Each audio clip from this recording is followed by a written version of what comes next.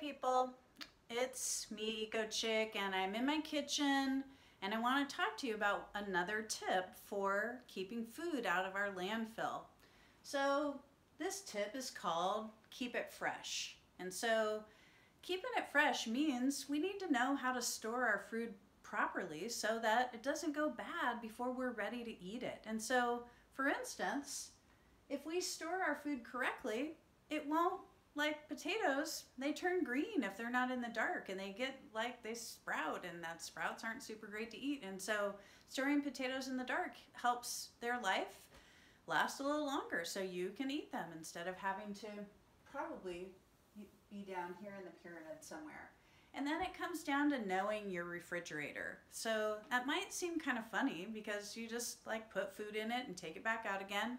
But understanding where food should go in your fridge so it'll last as long as possible is an important thing to know.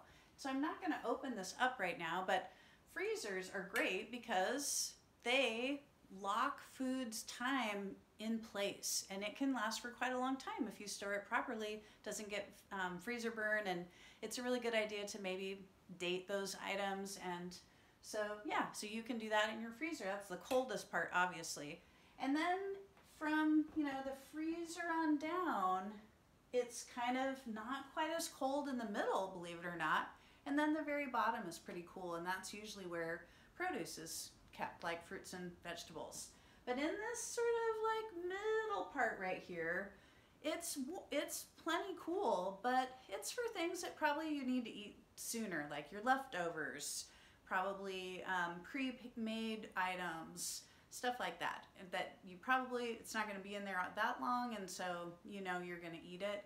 Um, and then the shelf right before you know the produce that's where things like if you are a person that eats meat that should be kept down there. It's the coldest part of your refrigerator besides the produce drawers. Um, that's where I keep my milk and eggs on that bottom shelf. And then the coldest of the fridge is where your fruits and vegetables are. And most refrigerators, especially if they're newer, have ways to adjust what's called the humidity in those drawers. And fruits and vegetables need a different amount of humidity. And so you can find out more about that on Food Heroes also. Um, and so, yeah, a couple other things to note are bacteria grows between 40 degrees and 140 degrees. So you definitely want to keep your refrigerator down at 40 degrees or lower than that to keep your food safe and fresh. And um, leaving the door open just wastes a ton of energy. So you might want to like look in there for a while, but sort of try to remember what's in there without having to look for a really long time because every time we open the door, it wastes a lot of energy for the fridge to try to cool itself down again. And so the fridge is smart, it wants the food to stay safe, and so it's gonna have to work extra hard the more we open it. And so, yeah, keeping things fresh are is important.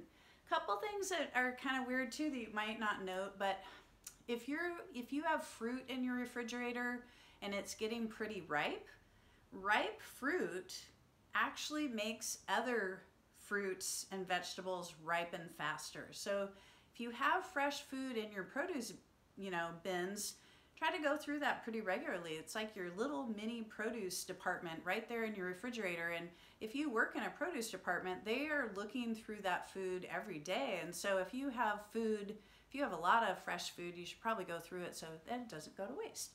And then finally, get to know the shelf lives. And so this is like how long will this gallon of milk last past the sell by date and those kinds of things. So finding out as much as you can about how food's labeled, how to keep it safe, and you know how long dry goods, for instance, last past a sell by compared to yogurt. So again, gotta love our food and not waste. And this is Eco Chick signing out.